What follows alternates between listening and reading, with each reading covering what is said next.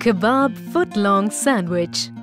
Preparation time 25 to 30 minutes. It's always a good idea to experiment and bring some twists and turns in the conventional dishes we eat. VCookVeg brings you a foot-long sandwich with a fusion of kebabs. Let's take a look at the ingredients.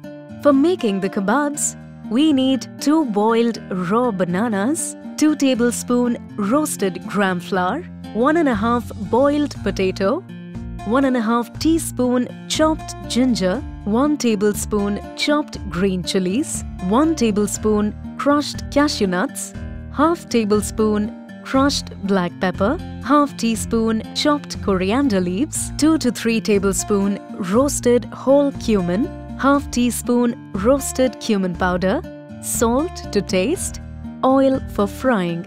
For kebab filling, we need 10 to 12 dried figs, half teaspoon chopped almonds. For the sandwich, we need 1 foot long garlic bread, 3 cheese slices, 2 sliced tomatoes, 1 sliced onion, 1 cup sliced red and yellow bell peppers, 6 pieces jalapeno, mayonnaise as required, 100 grams whole and shredded iceberg lettuce leaves, tomato ketchup, salt and black pepper to taste. List of utensils needed. A medium-sized bowl, a plate, non-stick pan, a spatula and a serving platter.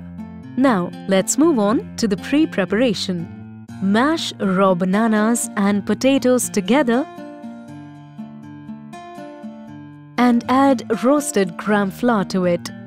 Mix well and add chopped ginger, chopped green chilies, black pepper powder, cumin powder, whole cumin to the mix. Add chopped coriander leaves and mix it up well. Add crushed cashews and salt to taste. Prepare filling by mixing chopped dried figs and chopped almonds. Form a ball from the prepared dough. Fill 1 teaspoon of the filling in the center of the kebab. Similarly, prepare the rest of the kebabs. Heat oil and shallow fry these kebabs till they are golden. Transfer them on absorbent paper. Now, for the main preparation, slice the foot-long garlic bread from the center. Open the face of the bread and make a bed of iceberg lettuce, add mayo, and then all the vegetables in layers. Sprinkle salt and black pepper powder and add the kebabs. Fill it with shredded iceberg on top. Now, add jalapeno peppers and place the cheese slices. Add the tomato ketchup and close the sandwich with light hand. We are sure you will enjoy making this fusion sandwich and packing it in your loved one's tiffin.